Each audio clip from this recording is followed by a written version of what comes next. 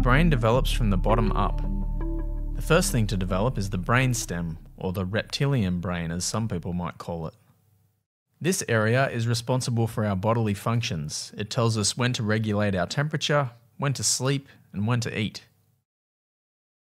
The next important part of our brains to develop is the limbic system, or what some people might call the mammalian part of the brain. The limbic system supports a variety of functions, including emotion, behaviour, motivation, and long term memory.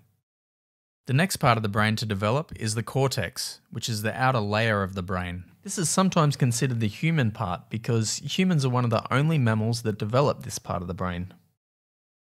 This part of the brain is responsible for how we as humans were able to develop language, have thoughts, self awareness, perception, and consciousness. Also, the cortex plays a key role in integrating the central nervous system and functions of memory. The last and most advanced part of the brain to develop is the prefrontal cortex, which is considered the executive functioning part of the brain. For some people, this part doesn't fully develop until they're in their mid to late 20s.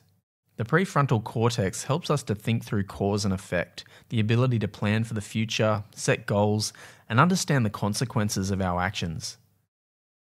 It's also responsible for the ability to moderate social behaviour. When we're in a stressful situation, part of our limbic system called the amygdala sets off an alarm bell response to let us know we're in danger and we need to do something about it. When this happens, the brain floods with a hormone called cortisol, so the body knows that something needs to be done. The most common responses to a stressful or dangerous situation are some you might be familiar with fight, flight, freeze, or submit. This is an inbuilt system of survival to keep us safe when we're in danger. Like when our ancestors might have had to decide whether to stand their ground and fight against a large predator or run away. A stress response is a healthy, normal part of being a human. It lets us know that our bodies are working and keeping us safe. If a person is exposed to a highly stressful or traumatic event, or they have continual exposure to stressful events, like abuse or neglect, their alarm system might become overactive. It might be always switched on, as if there was a risk of danger or threat at all times. For a child, this might affect how their brain develops. This is especially the case if it's in the context of stress or trauma events by a primary caregiver. In these cases, the child might develop an understanding of the world as an unsafe and dangerous place, even when they are in a safe situation. Sometimes this is called hypervigilance. It means being on edge or aware of danger at all times. Being exposed to stressful and traumatic events on a regular basis can also have a significant impact on neural connections in the memory center. It can even change the way we remember actual events.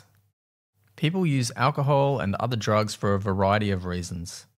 When someone's experienced trauma, they might be in a constant state of fight or flight, and so might use substances to help move them out of their stress response state. We also know that substance use can affect the way that our brain functions. Chemicals from substances cross the blood brain barrier and can either stimulate or depress different parts of the central nervous system, affecting how the person feels, thinks, and acts. Similar to cortisol flooding the brain in the stress response, chemicals from alcohol and other drugs can also affect neural pathways and the way the person might make decisions or remember events. Luckily, neural pathways have the lifelong ability to form and change. You might have heard this referred to as neural plasticity. Through developing a better understanding of the brain and the way trauma and alcohol and other drugs affect neural pathways, clients can be better informed and empowered. This is an intervention itself called psychoeducation.